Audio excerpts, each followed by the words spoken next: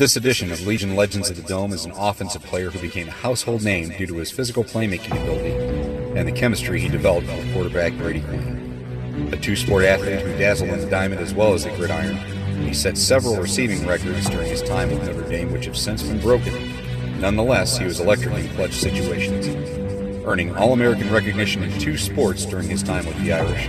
The only question that remained was would he be the next Deion Sanders or focus on only one? This electric playmaker provided fans with several highlight catches. However, none might have been bigger than the one which saved the Irish from a devastating upset.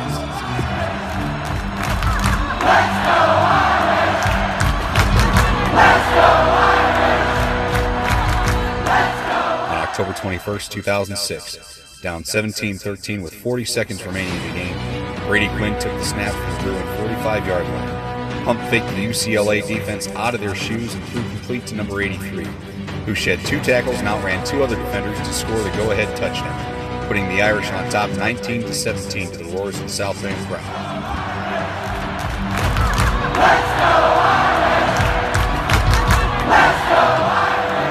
The 10th ranked Irish snatched victory from the jaws of defeat and moved to 6 1 on the season.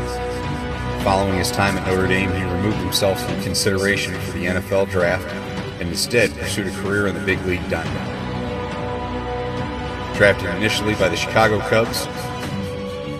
He has since played for the Oakland A's, the Chicago White Sox, and currently for the San Francisco Giants, earning a spot in the 2014 MLB All-Star team. Legion of the Leprechaun proudly recognizes this legend of the Dome, the man known as the Shark, number 83, Jeffrey Allen Samardzija.